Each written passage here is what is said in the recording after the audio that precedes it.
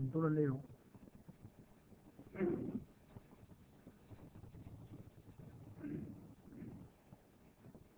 第一次，第一次访问的地址是得到了这个 WSDL 文档，得到 WSDL 文档，这个不是我们要的内容。接着从这里开始，从这里开始就是真正的开始调用消息了。从这里开始就是开始真正的调用消息了。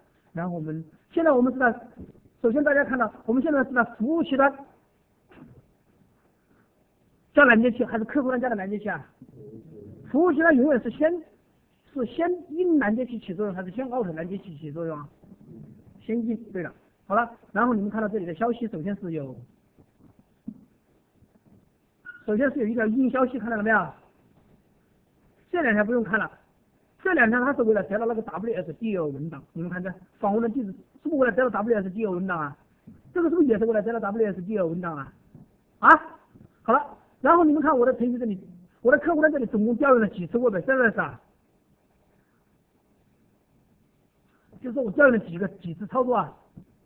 一次、两次、三次，调用了三次，一共应该几个消息啊？是不是六个消息啊？好了，我们看一下下面有没有六个啊？前面的第一个两个不看，三是硬消息，三 out 消息。四的硬消息，四的 out 消息，五的硬消息，五的 out 消息，一共几个消息啊？六个，一切尽在我们掌握中。好，接下来我们看一下这个消息，它传的这个消息跟我们昨天分析的是不是一模一样呢？好了，然后你们看到这里有一个 preload，这就是搜索消息的文档片段了，我们把它拷出来。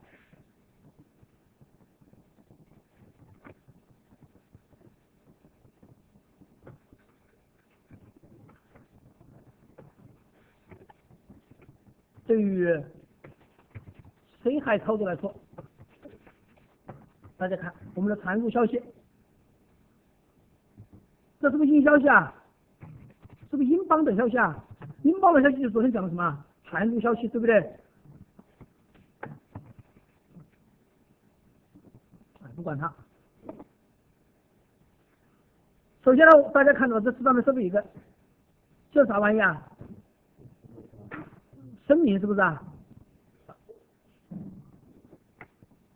接着你们看到一个 AVLOC 根元素，接着你看到有一个什么呢？body，接着你又看到一个什么呢？C 海，接着你又看到一个什么呢？阿格林，阿格林里面是字符串，看到了没有？接着你又看到一个什么？反 C 海，接着你又看到一个什么？body。接着你又看到一个什么？Evernote 是不是？接着我们把昨天讲的那个东西打开。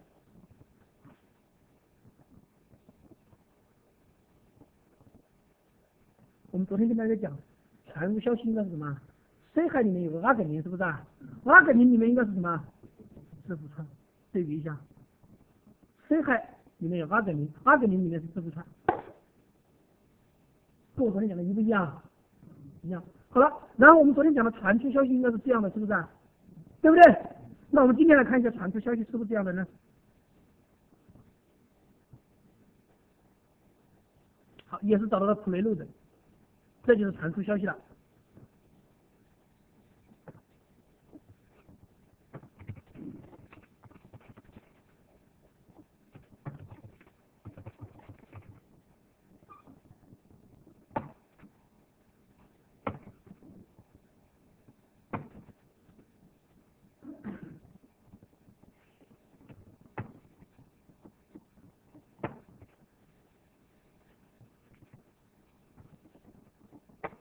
大家对比一下，他说玻璃里面有一个深海尾子动是啊深海尾子动里面是一个尾称元素啊，啊，然后你们看一下深海尾子动是尾称，一切尽在掌握中，发现没有？那么我们于是呢，可以得到受粉消息的格式是怎样的呢？受粉消息的格式是怎么样？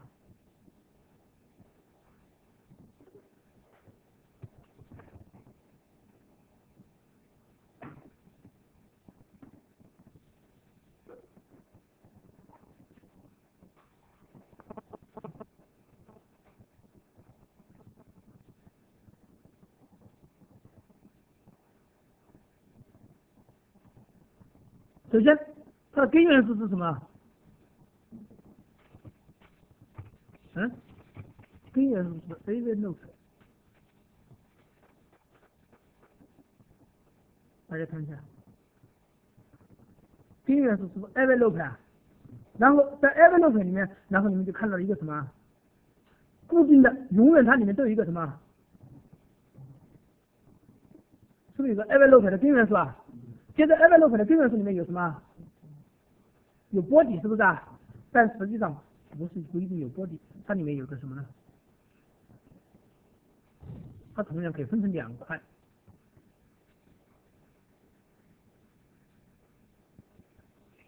上面一块，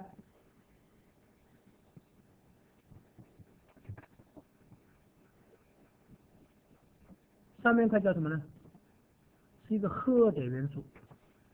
可能有的同学说：“老师，你这个。”好像我们刚才看的，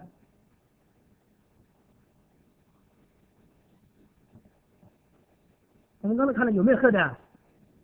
有没有？没有，对。但是我要告诉你是有的，只不过呢，你看开始看到的是没有。接接下来下面有个什么人是吧？啊，褐的下面是什么？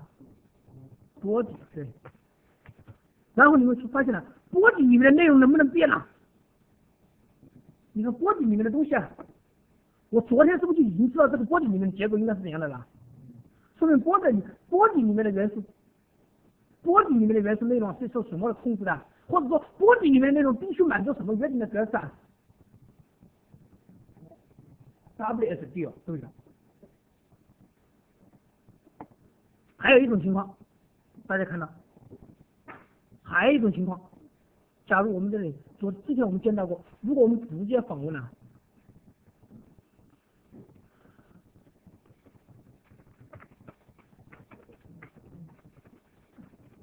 这直接访问的话，咦，没开吗？没加端口。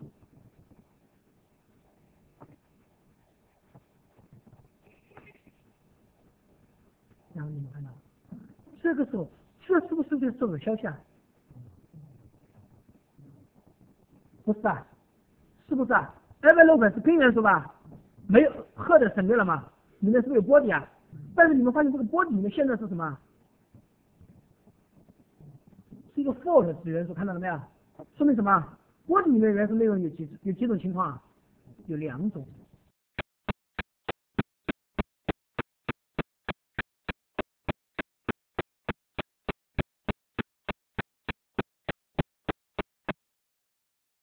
里面的元素啊，有两种情况，哪两种情况呢？如果如果调用正确，那么波底的元素内容应该是怎么样？应该遵守什么呢？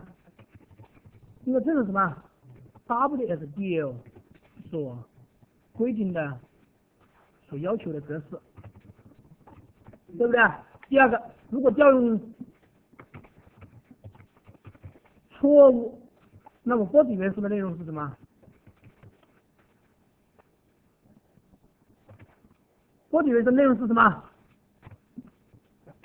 就是一个 false 子元素，懂了没有？然后在这个 false 子元素里面，你们看到有这样一些东西。第一个呢是有一个呃 false code，就是一个错误错误码。然后有个 false 区，就是错误的描述信息的，没有这样一个操作。也就是说，我们现在调用这个操作存不存在？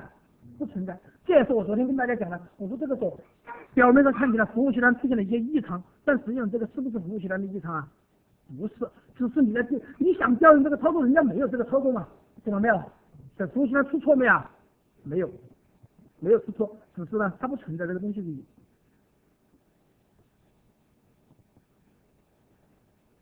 接着，我们再回到盒子这里看。那么赫的里面的东西呢？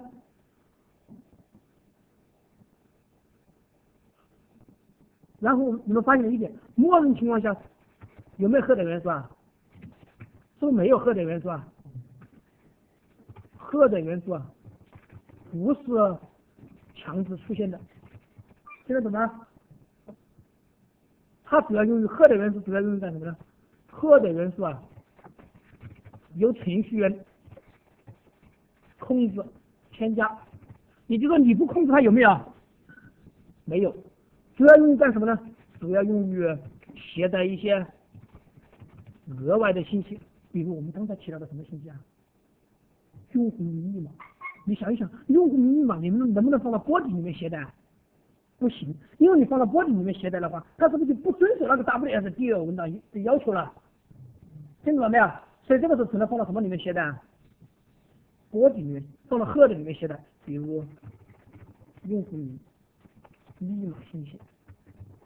好，这一个，今天你们看到授权文档，这个授权简不简单？授权协议是要比昨天讲的 WSDL 要怎么样？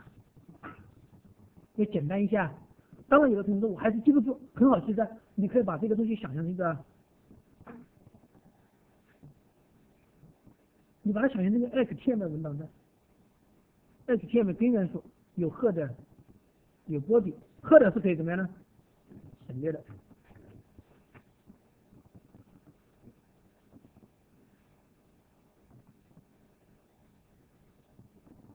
这个叫什么？这个叫 soft。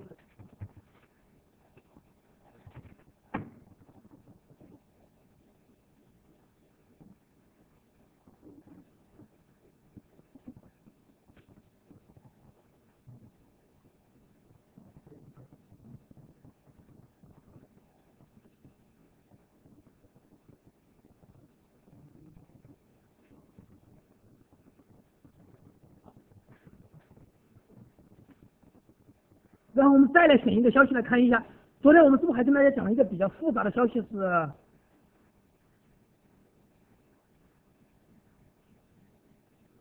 这个是不是比较复杂的消息啊？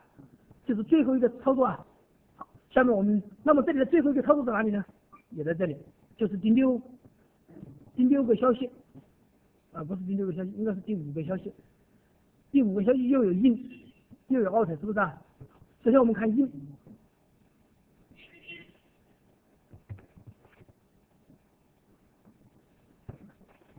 对于个体我课程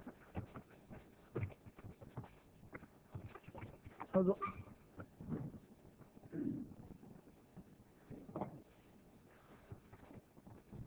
传入消息。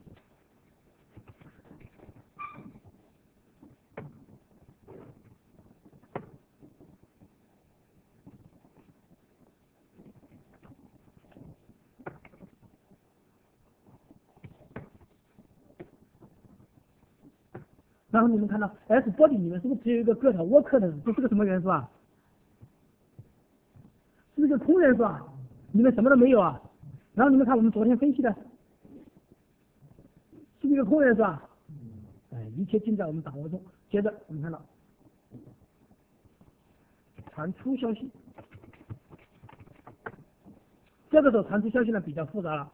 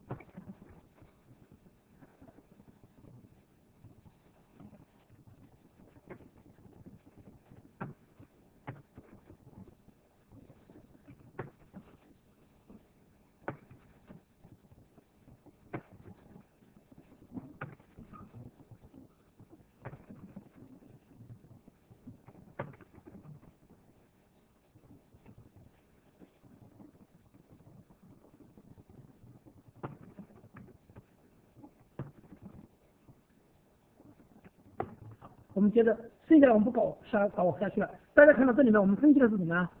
首先是不是应该它是一个个体 work 的 response 啊？然后你们看这边是不是有个个体 work 的 response 啊？接着里面是不是有个 return 的子元素啊？return 的子元素，接着 interest 可以出现零到多次，看到了没有？于是你看到这边 interest 出现了几次啊？一次、两次，其实后面还有没有？还有的。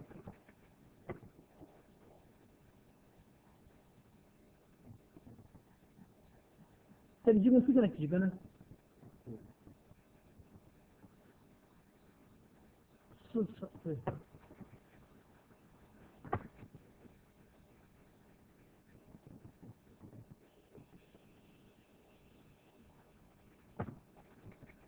这里其实这里的每一个 n 圈是不是就是一个 q 位了？对啊。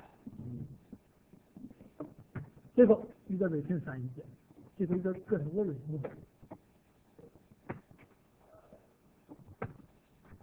大家看，这个结构跟我们昨天讲的这个结构是不是一模一样啊？在 k value value 里面有 color id name，然后你看这边呢也是 k value color id name，一一切尽在我们掌握中，是不是？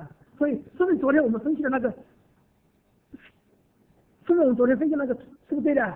对的。还有我们整个这个授粉消息这个波底里面内容，完全是受什么控制的？受 WSGL 文档控制，听懂没有？如果你这里生成这个这个授粉消息跟 WSGL 文档要求那个格式对不上，那它会引发什么后果啊？到时候你这个就是怎么样？就是错的，必须按这个格式。换句话来讲，听我讲的。换句话来讲，当我们要调用 Word Service 的时候，你其实如果你不接受 s e l f 这个东西你应该怎么样？啊？